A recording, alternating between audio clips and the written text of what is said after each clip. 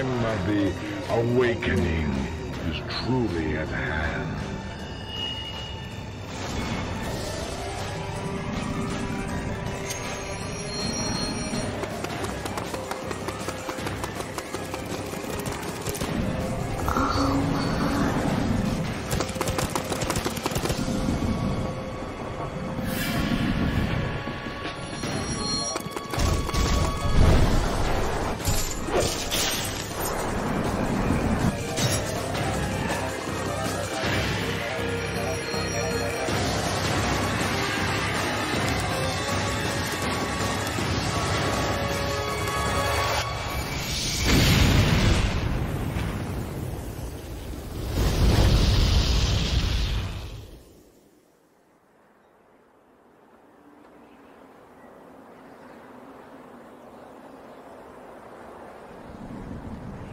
This is not over.